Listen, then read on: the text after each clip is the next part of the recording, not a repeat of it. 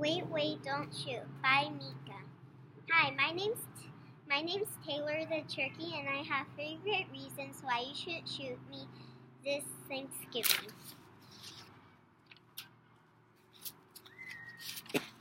First of all, don't shoot me.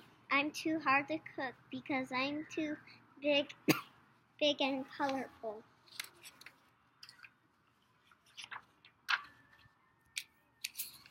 Also, your oven's too small.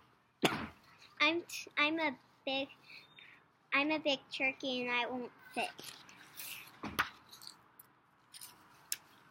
Finally, finally, my meat is too dry and hard. You will not enjoy my meat, and I'm too hard to cut.